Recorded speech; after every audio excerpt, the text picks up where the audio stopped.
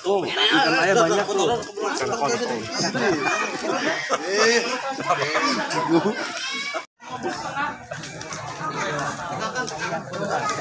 Bungkusin, bungkusin.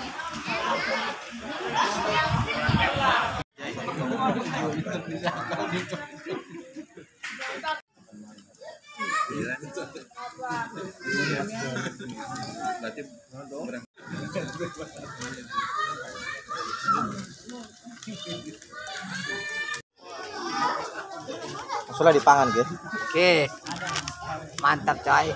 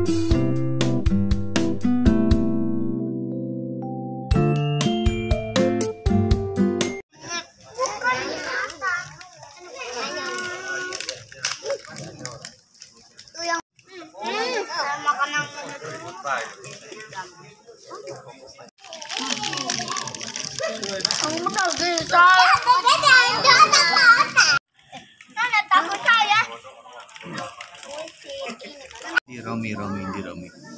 Iya, ditelepon Pak Ustadz. Pak Ustadz yang nelpon.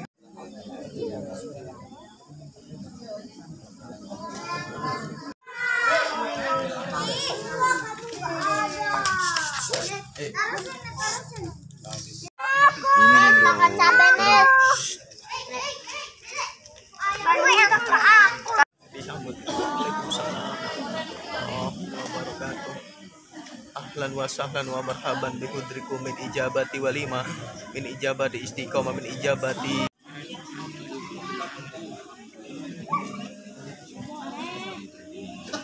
di Indonesia khususnya setelah lebaran hari raya Idul Fitri. Ingin memutuskan semua bentuk kegiatan ibadah haji harus ikut satu halal. Gunungun halalun halal ya. Tapi kalau orang Islam khususnya misalnya ada daging binatang yang diharamkan itu jelas haramun. Innal halala bayyinun wa innal harama bayyinun. Misalnya ada kopi pak pak Cipto yang tengah jalan kok saya nanya kopi hukumnya apa mana dinonggo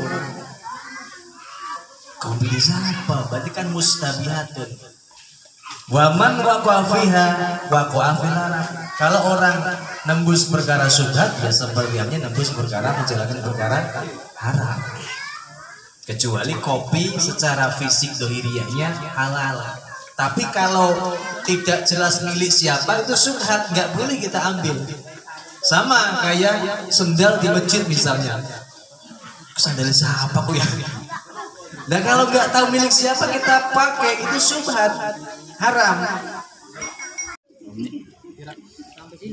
Untuk ke motor, saya ruangan kita mana? Berhenti. Mobil.